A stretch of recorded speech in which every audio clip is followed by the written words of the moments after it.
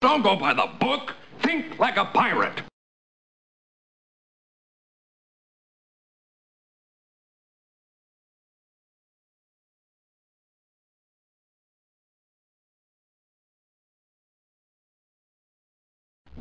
We have just lost cabin pressure.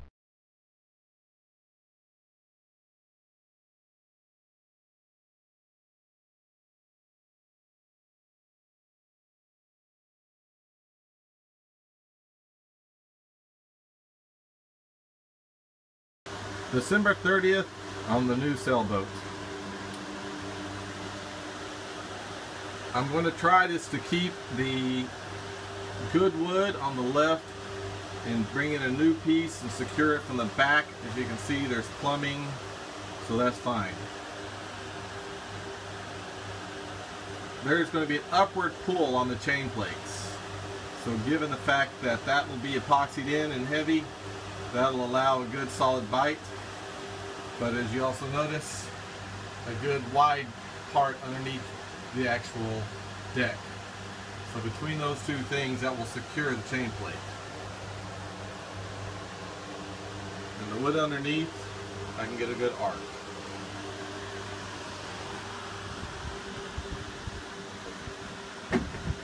Water, water everywhere. Look what you can rot. But also what I can replace. Jiggle, jiggle, jiggle can't be good. That's why we have water. As you can see, this is the back side of the template. Notice the lines. And that part is pretty true at this point. So, I will trim out along those lines and take a second fit.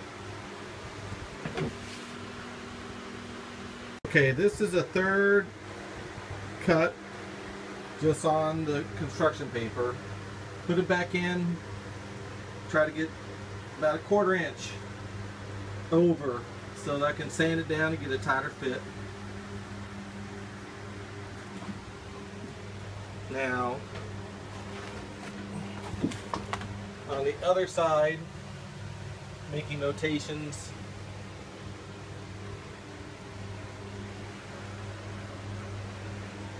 where to fine tune. Doesn't look like five feet and two inches, does it? Or five five feet by two feet? Well, I was almost right. Somewhere in the mix, I forgot the top piece, which I made it one piece. Now, if you notice, not a bad fit. I wanted a little bit over. So what I'm going to do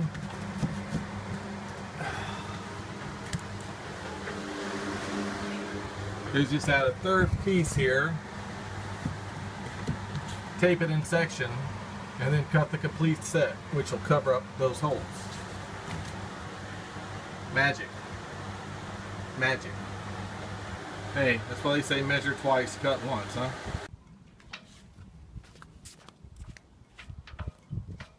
Alright. I've now cleaned up the template, just cutting around the edges and now produced a rough outline. My handy tools will play like we're in third grade again.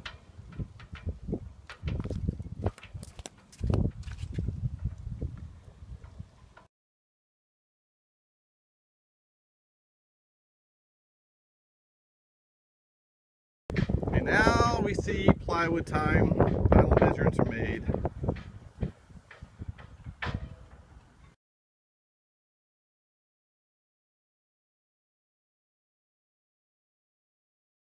At this point, we have the final templates ready.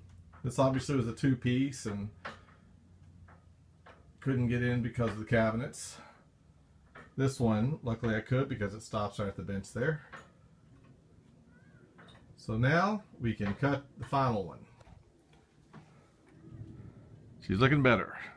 The 15th of January 2014.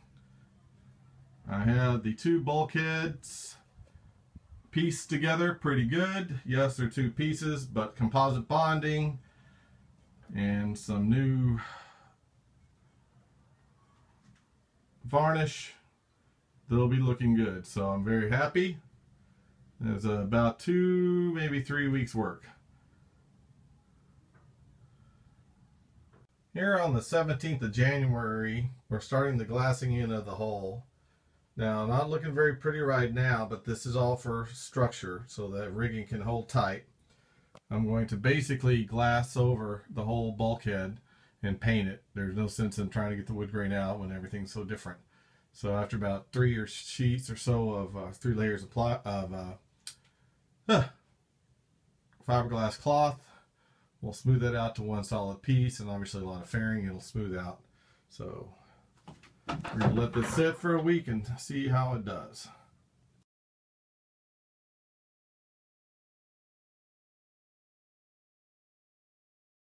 8, 2014. At the new bulkhead in. Getting ready to prime on that side.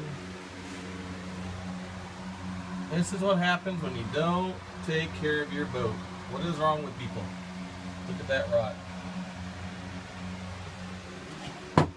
Plus, look at that rod. Yeah, you want to eat off that, huh? People, take care of your boats.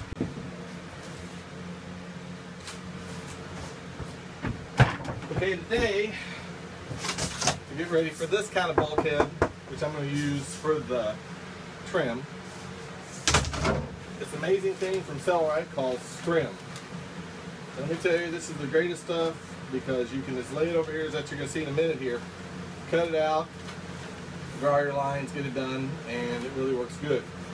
So, to hide all this stuff because unfortunately there's no way I was going to rip all this out just to get a clean bulkhead in. Could have used cell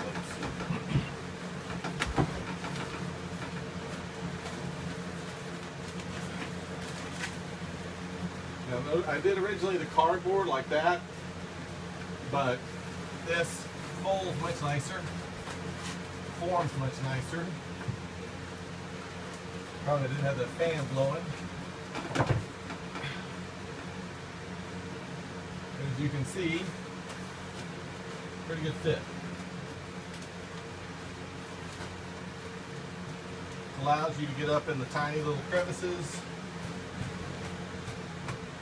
that will trim for later.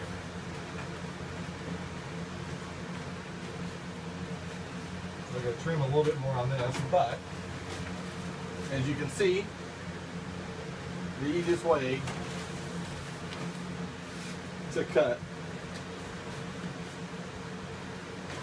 the bulkhead. If I'd have known this earlier, holy cow, would that have been a lot easier.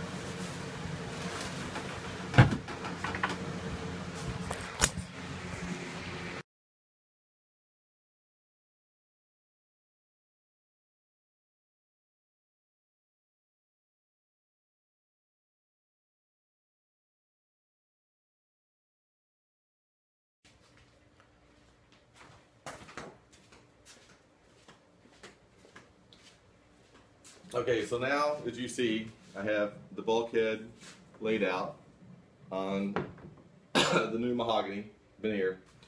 So this part's easy. As you notice, I went from scrim down to template, cut. This is the first. I probably shouldn't have stained these because there's always going to be some match, but you have to go in with something that's actually as thick as what you're going in. If you remember, I couldn't take out the whole bulkhead some was good, some was solid. So what I did, I filled in the inside, got that solid, but it's not pretty. So hence the veneer. Not bad, about $32 for a 4x8 sheet. So now this is the sixth revision of the bulkheads. So I made some revisions, mainly in the chain plate, but also as I noted, I don't want the color this light. So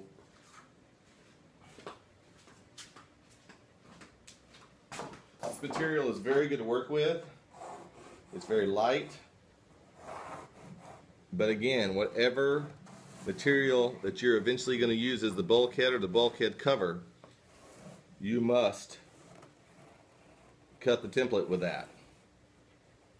So now, what I have is the template.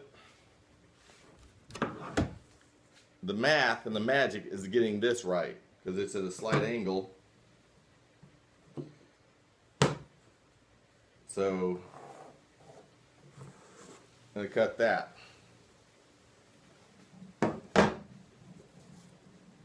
Now another important thing to pay attention to is the grain of the wood.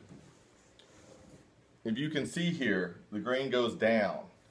Uh, I found out, or in this case it'll go up, but I found out that it looks very odd when one bulkhead grain goes this way and one other head the grain goes that way. So always pay attention to your grain. So now I do, I just go over the lines, make sure I can see it from my jigsaw, and trust me, an eighth of an inch matters. Try to be as solid as possible. This is geometry, rise over run. A little bit this way, if you cut down too much here adjusting, it pushes this end up. So you have to be template after template. There's really no way to get around it. The scrim just helped. But always be careful on this side. So now we have it. I'll cut this out and we'll start restaining. Again, our only point is to where this is.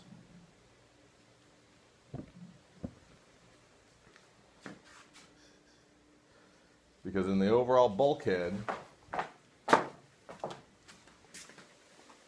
seeing Casa de Kel's workshop here, is where is it going to be? Ooh, sorry. All right. Later. Go on, sailors, have fun.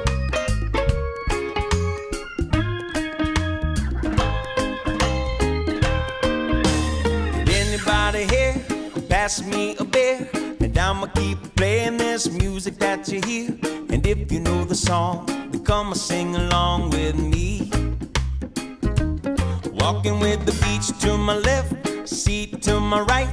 And I'ma get faded at the tiki bar tonight.